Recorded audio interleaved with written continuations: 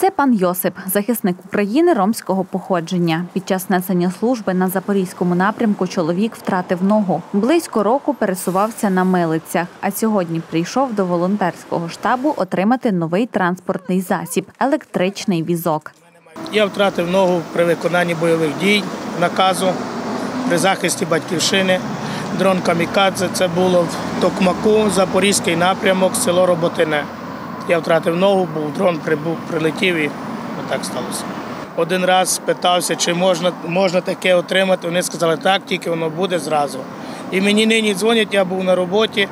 Дзвонять, ти можеш зараз приїхати і забрати свою коляску. Кажу, звісно, що можу. Кажу, шеф, можна? Звісно, йди, каже. Я приходжу, ми зараз з пацанами це все склали, мені допомогли. І слухайте, воно дуже добре, дуже комфортне. Боєць зізнається, довго чекав на свою нову автівку, бо вона була йому вкрай необхідна. Каже, їздитиме на ній на роботу та вже провів перший тест-драйв. У мене перебите плече ліве кулею 7,62 і ну, мені важко. То на костелях йти, у мене є коляска така, що вручну. А зараз цим просто управляєш собі, їдеш чудово, ну, комфортно, дуже добре. Блок живлення тут встановлюється, заряджається і може собі їздити. Віднині будемо тестувати, скільки акумулятор витримує, наскільки мені вистачає, чи хватить буде на роботу мені піти і обратно додому. Про потребу у візку для ветерана дізналися представниці інтеграційного центру Ромодром, що опікується ромською общиною. Тому спільними зусиллями волонтери намагалися підтримати захисника.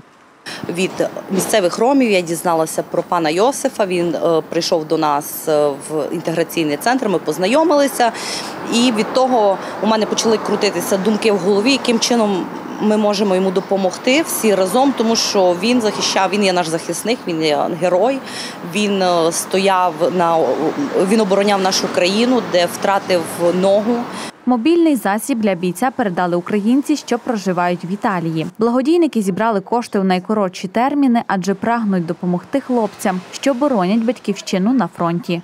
Цей колісний транспорт, е, електричний візок е, нам передала наша волонтерка е, Єлена Сливка, яка проживає багато років в Італії в місті Пескара. Пані Єлена і разом з італійцями і з українцями, які там працюють, зібрали певну суму, щоб придбати цей майже новий електричний візок для ветерана війни. Дуже хороша людина, позитивна. Е, Він дуже надихає своїх побратимів, які десь поранені після війни в тяжкому стані психологічному. Він їх підтримує. Він навіть нас підтримує, волонтерів.